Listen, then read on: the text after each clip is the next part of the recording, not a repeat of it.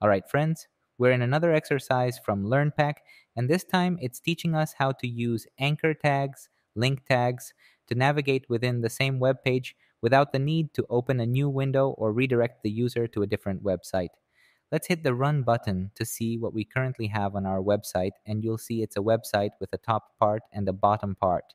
If I press this link here instead of opening another page, it takes me to the bottom part of my website. We're going to duplicate this link here and look at what's in the href attribute of this anchor element. It has the ID of where you want to move to.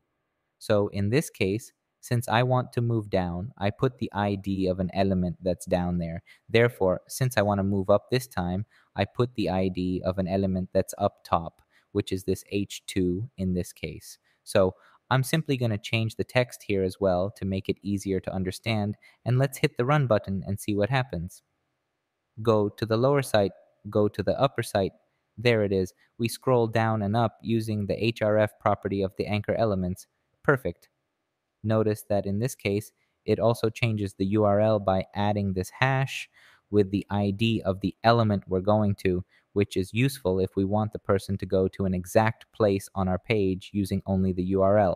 We hit the run test to see how our code does, and in this case, everything was perfect. So see you in the next exercise.